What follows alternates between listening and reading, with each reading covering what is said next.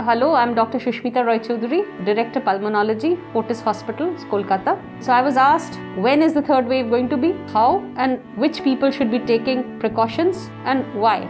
So let's just take it. What is this wave? Why are these waves important? Because the virus itself is an organism that needs to survive. And as a part of the natural process of a virus, in order to survive, it has to keep changing itself. And that is what is called mutation. Now, these changes either can mean nothing to the virus or they might mean that they make the virus more virulent or they might make the virus more contagious. If the virus becomes more contagious, then it can spread from person to person very quickly. And if it is more virulent, it can cause more damage to the body that it affects. When the virus mutates, it can affect people who are not prepared for the virus at all. So, who are these people? Those who have not been vaccinated, those who are immunocompromised, and those who are at extremes of age, either children or elderly. Therefore, getting vaccinated first and foremost is the best way to try and avoid a major viral infection.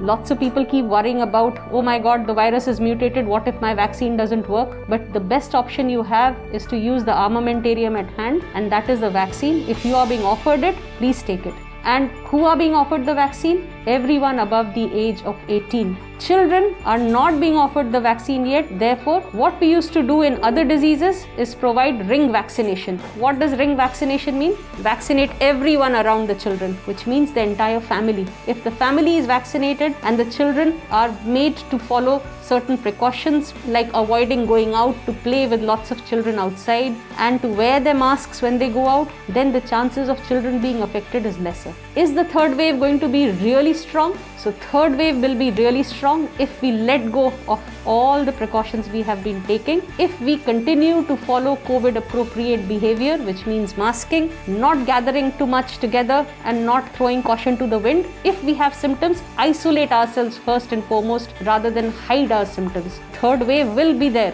fourth wave will be there, fifth wave will be there because that is how the virus mutates. But it will not cause as much devastation as the first two waves. It is all in our hands. Let us try and avoid a major wave of destruction. The third wave can be a mild one if we all look after ourselves and behave responsibly. So take care. God bless.